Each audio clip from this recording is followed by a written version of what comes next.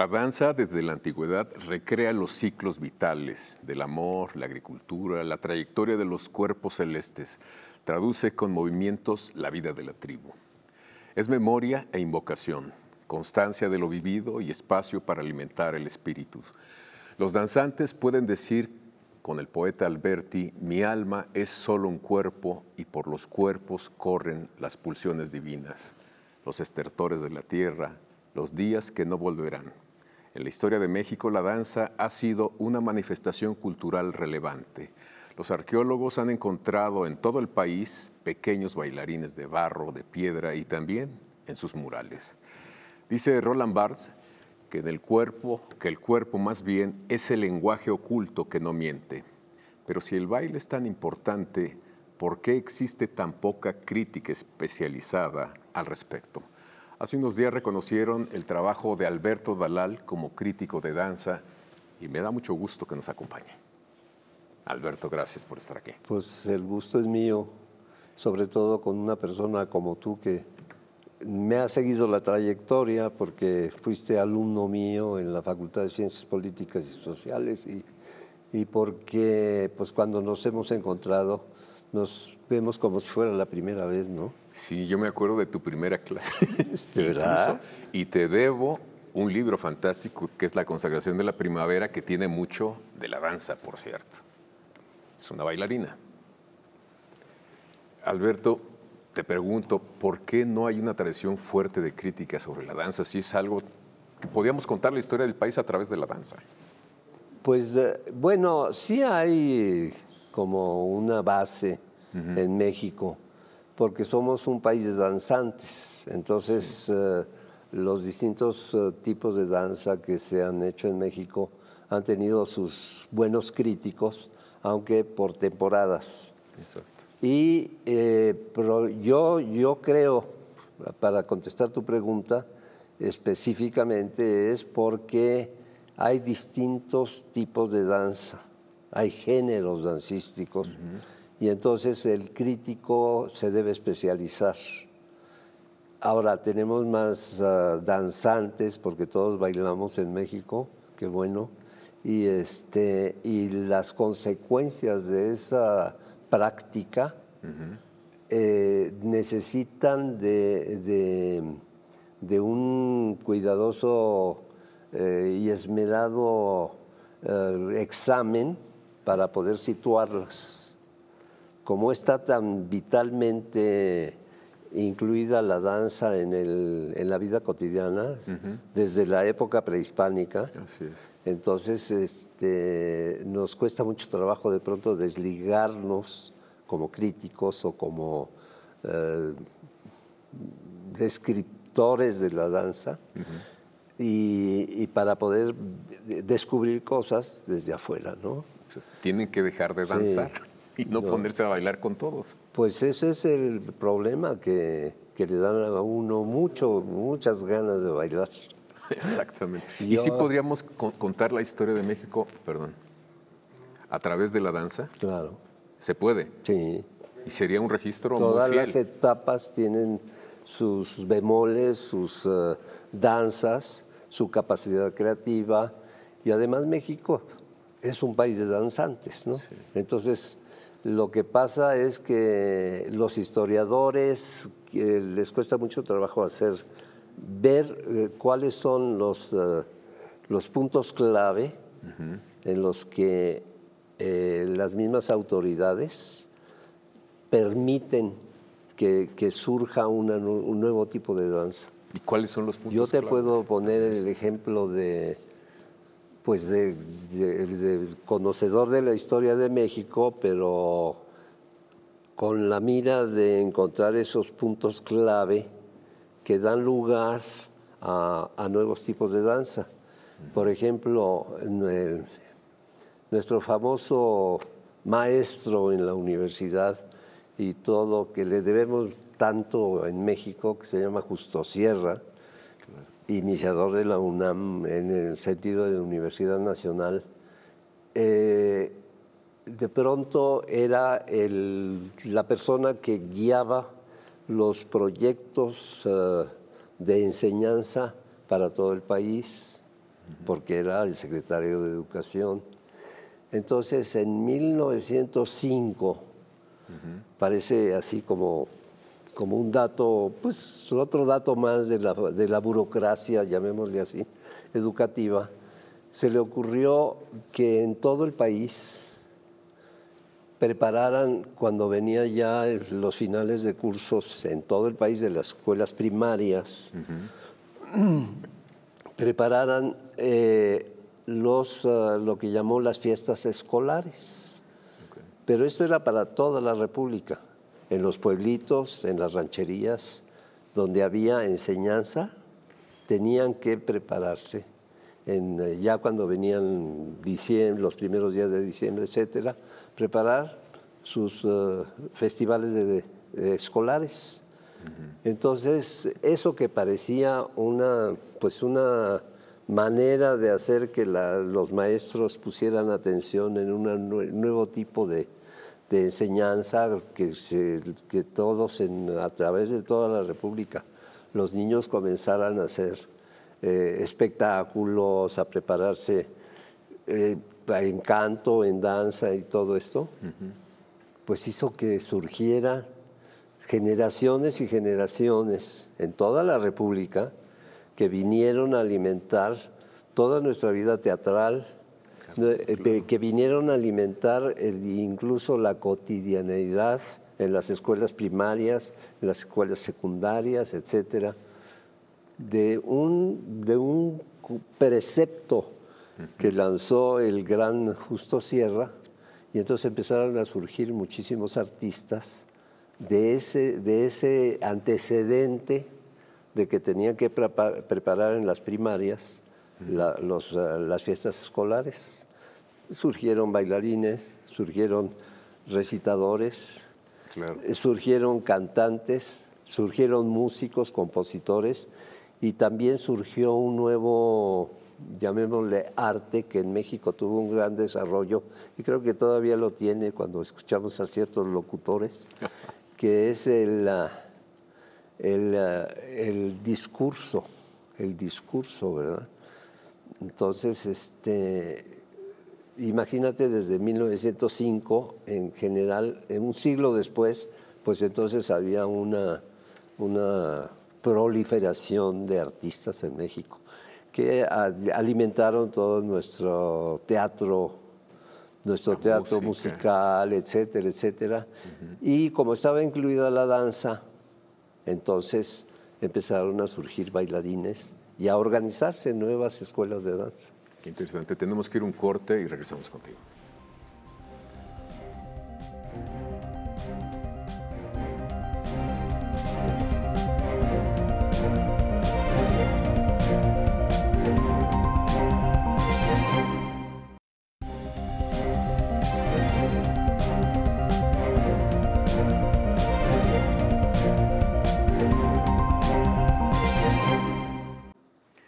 Si alguien ha documentado la historia de la danza, del baile en México, es Alberto Dalal, a través de varios libros, de reportajes bastante legibles, muy sabrosos, digamos. Y yo insisto, entonces la historia del país la podemos contar a través también de, los bailes, de, las, los bailes populares, porque hay momentos en donde también se proscriben ciertos ritmos o se ven mal se empujan otros. Pero, pero son menos las eh, situaciones en las cuales se prohíba algo. No se prohíbe la danza en sí misma. Y lo que pasa es que somos un país de danzantes. No se puede prohibir eso entonces. No, y somos, lo llevamos en la sangre, nos gusta danzar, pero de todas las clases sociales, etcétera, etcétera. Entonces, por ejemplo, lástima que en la Ciudad de México se cerraron algunos de los eh, antros o de los salones de baile que había en el centro de la capital, porque este, allí podías ver a los grandes bailarines y hasta la fecha puedes encontrar gente que se dedica a especializarse en el danzón, en el mambo, en el cha-cha-cha, etcétera, etcétera. Y luego tenemos las grandes divas bailarinas que bailan en el teatro, en el teatro frívolo, les llamamos, que no tiene nada de frívolo, pero de todos modos son muy profesionales. Es decir, la gente que baila bien en México es muy profesional. No se diga entonces en las escuelas de danza cómo preparan a la gente y cómo es posible admirar esto, eh, esta proliferación que no tienen otros países ni de América Latina. Ah, es particularmente en México. En México. Yo pensé que era general esto. No, no, no. Particularmente México es un país de danzantes. Lo he puesto en algún libro y lo, reproducen en todos lados, pero yo lo digo con pleno conocimiento de causa, ¿no? Porque como he investigado todos los géneros, he investigado todos los tipos de danza, etcétera, hasta te digo que el efecto que pudo tener que Justo Sierra dijera, bueno, en toda la República, por favor, cuando terminan los cursos en primaria, empiezan a preparar las fiestas escolares. ¿Te imaginas la cantidad de gente que entró a, hacer, a, bailar, a cantar? A, pues, Eso ya no se para porque ya lo probaron, ya les gustó. Ningún país tiene ese tipo de fenómenos en los cuales tú puedes darte cuenta. Eh, luego vienen ah, otras épocas y otras situaciones en las cuales también te deja sorprendido la capacidad dancística del mexicano, que son, por ejemplo, las fiestas populares, en las colonias populares, en que pues siempre hay baloteo. Pero allí no nada más te das cuenta de quiénes están bailando muy bien, sino cómo tienen la música la música adecuada para eso, ¿no? Y viene el danzón, y viene la jarana, y viene etcétera, etcétera. Entonces el mexicano vuelca mucho de su manera de ser en la danza. En la danza, pero sí hay casos, por ejemplo, de los famosos sonideros, la changa, en donde ellos también pues, padecieron, digamos, cierta represión o cierta censura gubernamental por ciertos ritmos y porque ocupaban la calle. O sea, también eso registra, ¿no? Sí, pero las, calles se llenan de gente que, danza y que mm. no los pueden parar, ¿no? Así como las fiestas de, vecindad. Claro. En los barrios. Es decir, México, la Ciudad de México, pues yo crecí en un barrio en el cual yo asistía a todas esas fiestas, a todos esos... Ah, fandangos en los cuales yo aprendí a bailar desde muy chiquillo, ¿no? ¿En qué zona era o en qué barrio? pues yo nací en la colonia Guerrero, ¿te imaginas? Entonces, en plenos barrios, en plenos barrios en los que en las fiestas siempre se bailaba, en las casas de vecindad, etcétera, y la gente eh, ve la danza como una, una manera de comunicarse. No es nada más practicar la danza, sino que yo me puedo comunicar contigo y puedo platicar contigo y te digo, ah, incluso voy a ver si te acepto como amigo, si sabes bailar danzón bien, o si sabes bailar el cha-cha-cha, el mambo, todos esos ritmos que además pasan de moda, pero que se quedan, se quedan ahí. Y entonces tú puedes clasificar a, a la gente de dónde proviene socialmente según sus capacidades para bailar los ritmos que son mexicanos. porque además los ritmos mundiales se adaptan aquí en México los perfectamente. Tropicalizamos, los adaptamos. Sí. Y esto tiene consecuencias en ya la danza, llamémosle culta, en la cual, la cual este, tiene escuelas, sí es decir, hemos tenido grandes bailarines, grandes este, bailarinas. ¿Que se alimentan de la danza popular también? No, que por, por vivir en un país de danzantes, entonces ellos buscan estudiar a fondo y convertirse en grandes bailarines de ballet clásico y grandes bailarinas y de español y de todos los géneros que quieras. Son admirados te lo digo porque yo he asistido a muchísimos festivales en toda América Latina, que son los festivales de, danza de muchos países. Me recuerdo mucho los muy bien organizados, que son el de Colombia, principalmente. Bueno, muy buenos danzantes también. En los cuales yo estaba invitado naturalmente como crítico y investigador de la danza, pues he tenido unos... Ah, experiencias sensacionales, no nada más en América Latina, sino también en Europa, ¿no? Con la necesidad de que, me, de que tengo que cubrir la fuente, estamos hablando ya periodísticamente, y me invitan a mí y yo tengo que estar enviando los textos de todo lo que veo. Entonces me he fogueado como un investigador de la danza, pero al mismo tiempo como periodista de la danza. Sí, claro. Y, y lo que es sorprendente es cómo la, la, capacidad de unión que tiene la danza en esos festivales de un país con otro, no la encuentras de otra manera, ¿no? Se comunican. Yo creo que deberían poner a bailar a las gentes en la ONU, ¿no? para llegar a acuerdos sí, para que hubiera un poco más de acuerdo y que se soltara. La, se soltara. la danza, la danza transforma a la gente. Te lo digo por experiencia, ¿no? Sin duda. Tenemos que ir un corte y regresamos contigo.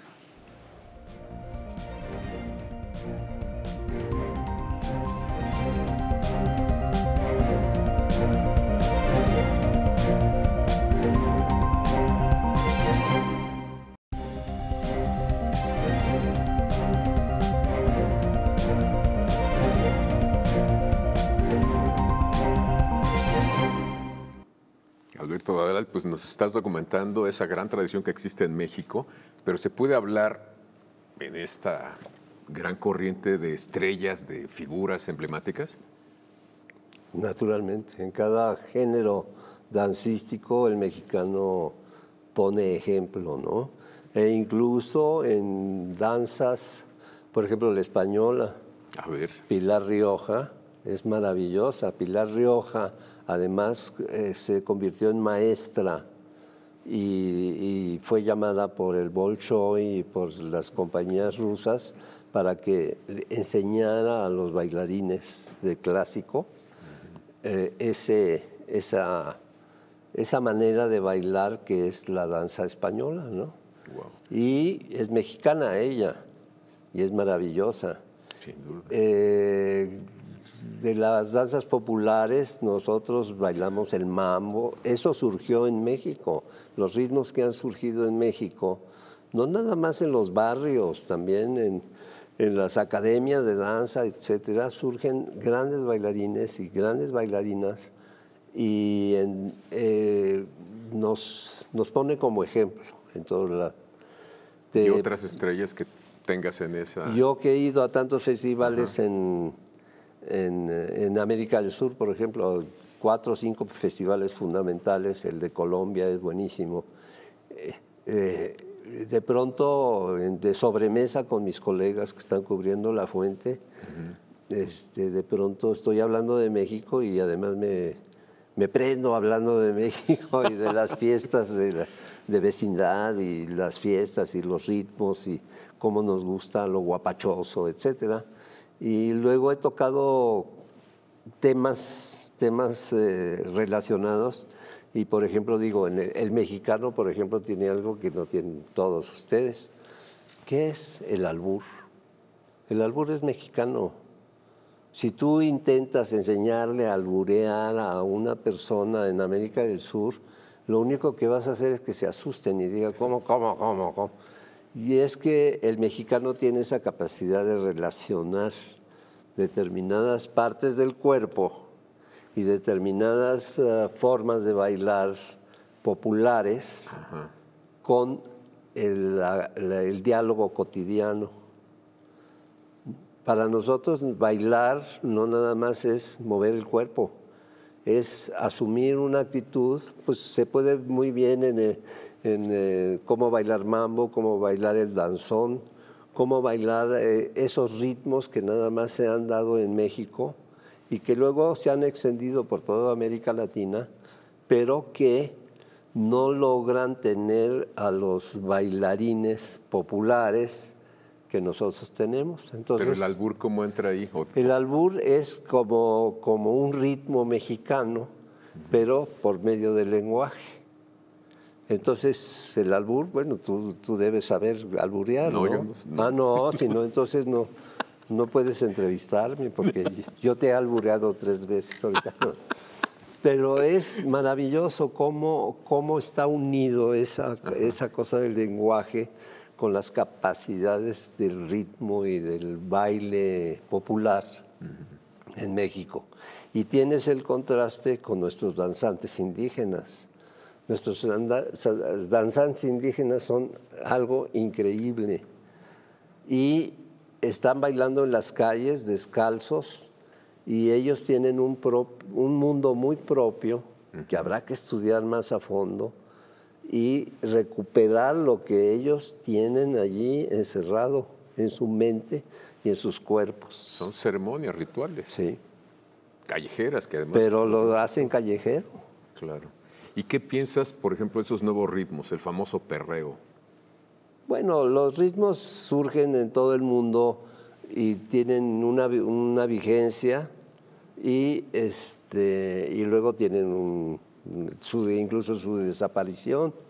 En México nosotros logramos este, sostener más los ritmos porque nos especializamos mucho y somos muy aptos para observar qué es lo que hay que hacer, no nada más los pasos, sino las actitudes del cuerpo y las actitudes eh, sociales que asume. Por ejemplo, el danzón pues tiene una forma de ser bailado y no cualquiera está bailando danzón aunque esté presumiendo. O el mambo, el mambo es una maravilla.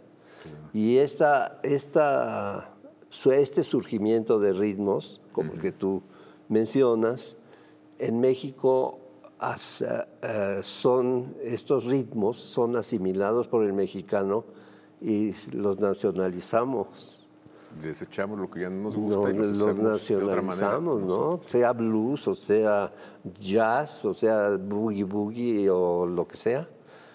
El mexicano le inventa maneras de bailar y, y es único el mexicano bailando determinados ritmos, aunque vengan, provengan del extranjero. ¿Tendría que formar parte del baile de las políticas públicas? Ay, sí los políticos, son muy pocos los presidentes, aunque sí ha, habido presidentes que saben bailar. Madero bailaba muy bien y creo que Obregón. Y yo he visto en la historia de México quienes, quienes este, sí le ponían atención a esto. Por ejemplo, Miguel Alemán bailaba esto, la jarana. La jarana allí en las fiestas que se organizaban y todo lo demás. Yo sí creo que la danza tiene esta capacidad de distender y de comunicar. Crea otros ambientes. Lo he descubierto y lo he vivido además, ¿no? Es decir, no es lo mismo un amigo que, que, te traiciona y todo lo demás, pero que en la fiesta él te viene, viene y te pide perdón. Pero lo ves que está bailando y dice, sí, este, esta, es sincero conmigo y es muy buen amigo. Es otro lenguaje que la, se... El baile unifica, el baile identifica a las gentes. Y desde que son pequeños los, los niños empiezan a sentir esto. Entonces tú puedes ver niños muy chiquillos que empiezan a, a adaptar sus cuerpecitos para poder bailar. Para decirnos cosas de otra manera. Pues muchísimas gracias Alberto Dalal por esta conversación y felicidades por el reconocimiento que te da la UNAM, tu casa, precisamente por esta pasión por el baile. Pues mucho gusto en saludarte. A mí también. Entonces te voy a invitar a alguna fiesta para que veas lo que es bailar. De acuerdo. Muchísimas gracias y los espero aquí la próxima semana.